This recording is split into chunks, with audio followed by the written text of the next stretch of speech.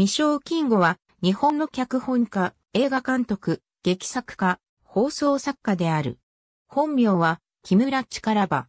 戦後に発表したルポルタージュ、ブラジルブラブラ記で知られ、日本ブラジル中央協会理事を務めた。生の読み、味噌は誤り。1908年12月11日、愛媛県南宇和郡未章村に生まれる。本名は木村力場であり、内海突破、後に二代目内海突破を名乗った笹山丹波は、それぞれ未章の弟である。未章が未章村、内海が内海村生まれであるのは、彼らの父が建築業であり、仕事の関係上、同県内を転々としたためである。長寿で東京に移り、日本大学法文学部文学科、文学芸術専攻に進学するが、満20歳を迎える1928年には中途退学する。1932年、奈良県生駒郡伏見村に市川歌右衛門が構えていた市川歌右衛門プロダクションに席を置き、脚本を書く。記録に残る最も古い作品は、1933年3月15日に公開されたサイレント映画、無宿佐太郎である。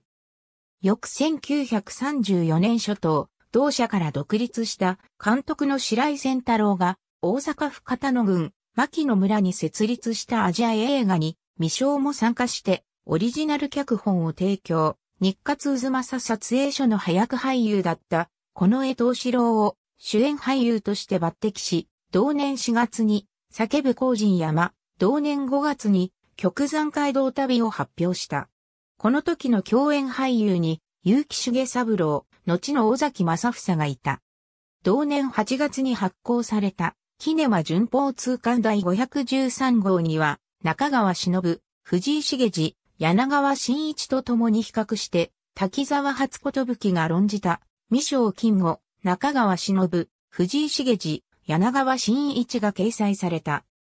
アジア映画は、同年9月の台風で撮影所が崩壊して解散。未章は、ユータプロや、その配給提携先の松竹キネマに脚本を提供したが、ユータプロが1936年に解散して、松竹キネマに吸収され、その後の密章は、片岡千恵蔵の片岡千恵蔵プロダクションや、その配給提携先の日活に脚本を提供した。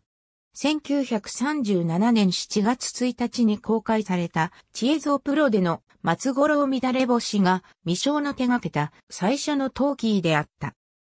1941年8月7日に公開された子供心では、かつてアジア映画社に俳優として参加した尾崎正房の原作を未章が脚色、1942年1月27日に設立された大日本映画制作に所属、1943年1月28日に映画配給者後継で公開された大英東京。撮影所作品、女の。田高ひ尾崎正房と共に監督している。とする資料がある。同作が未章にとって。唯一の監督作品となった。ただし未章は、尾崎と共同脚本であって、尾崎と共同で監督したのは、萩野雷蔵である、とする資料も多い。同日に、白系で公開された、理研科学映画社の文化映画、海を耕すに、本名の木村力場名義で脚本を提供している。同二作をもって、しばらく映画を離れた。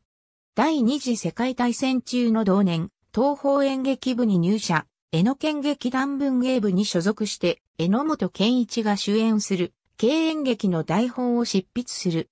実定の内海突破は、その2年前の1941年に、吉本工業から同部に移籍していた。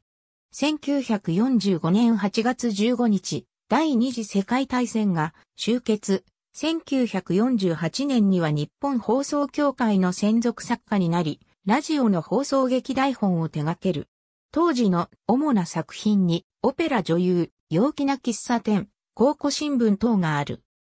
戦後の放送劇、ラジオ放送のあり方に影響を受けた未章は、1951年に発売された取材用過半型テープレコーダー、デンスケを入手、ブラジル移民に興味を持って調査を開始、1954年10月に発行された中央公論第69巻第10号史上にブラジルについての最初の文章であるブラジル移民を発表した。戦後のブラジル移民たちが石川達三氏の小説、僧帽に描かれた移民たちの姿のような哀れな境遇にある純農業者には見えなかったとし、当時の新しい移民のあり方をレポートしてみせた。その傍ら、1955年には、ラジオ東京で連続ラジオ放送劇、幻小僧の冒険を手掛け、大ヒットとなり、未章の台本を原作にした絵本が発売されたほか、東映が映画化権を取得、未章が脚本を執筆して、劇場用映画、幻小僧の冒険第一編、平家部落の黄金が、同年4月26日に公開、以降全4作が制作、公開された。同年8月1日には、ラジオ、東京テレビが単発もののテレビ放送劇、幻小僧の冒険を制作、放送した。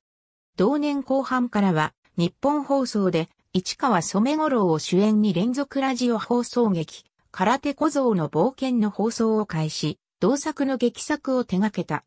1957年には、戯曲、おつぺけペイソー市役者、川上音次郎、東禅寺幼稚を収録した戯曲集を上司している。伝助担いで、ブラジルブラブラ起病し、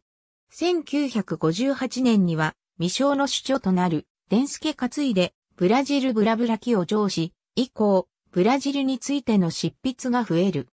1965年11月にはブラジル映画サンタ、バルバラの誓いの日本公開に関わり、シナリオに批評を執筆したり、小玉和夫と媒体露出等を行った。この頃にはすでにブラジル気候家の肩書きを得ていた。未章プロダクションを設立してテレビ映画を制作したとする資料が存在するが、どの時代であるかは不明である。1970年前後の時期、中村勘右衛門を主演に連続テレビ映画、徳川無声交友録を企画したが、1971年8月1日に徳川無生が死去したため、企画は実現しなかったという。1977年、川上音次郎と貞奴夫妻をテーマにした川上音次郎、貞奴展が行われ、同年7月発行の日本古書通信に川上音次郎、貞奴展のことを発表。以降、継続的に同市場で同夫妻についての研究を発表していく。同展において展示された川上音次郎の書簡にまつわり、宛先の野村薫国が野村薫邸の実父であり、野村義太郎の祖父であることを、旧知の映画作家、下村健二に指摘され、これについても1982年7月、同8月の日本古書通信市場において連続的に明らかにしていく。1984年8月に発行された日本古書通信8月号から川上音次郎の手紙都市機海外公演に関するものの連載を開始する。川上音次郎、貞奴夫妻をテーマに1985年1月6日に放送を開始した大河ドラマ春の波頭に資料提供演劇交渉で参加するが放送期間中の同年7月22日東京都渋谷区小島の自宅で、急性心不全によって死去した。満76歳没。没後の同年8月に発行された日本古書通信8月号に掲載された川上音次郎の手紙都市機海外公演に関するものの連載第12回が絶筆となった。没後1周年を迎える翌1986年7月21日、世界日報での連載をまとめた遺作、ブラジル生活記が出版された。特筆以外すべてのクレジットは脚本である。舞台劇、放送劇を含む主な一覧である。国立国会図書館蔵書等に見る論文、小説、戯曲等の書士である。おつぺけペイ創始役者、川上音次郎表紙。ありがとうございます。